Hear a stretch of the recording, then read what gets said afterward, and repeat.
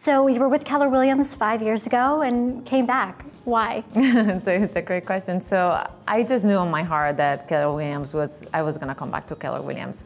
And I really, really miss the culture. I miss everybody that was at this market center and the opportunities. You know, I just feel like with Keller Williams, you have like great opportunities to grow and to learn. And also, I heard about the great technology that Gary was putting together, so I couldn't miss uh, the opportunity to, to come back here. I know you came from Compass, which is known to be a technology company. So, what specifically about the technology at Keller Williams brought you back?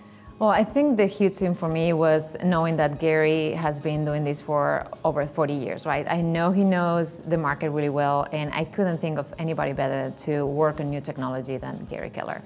Uh, so, you know, I hear great things about the cloud and Kelle, and, you know, I just think it's going to make our world uh, much easier.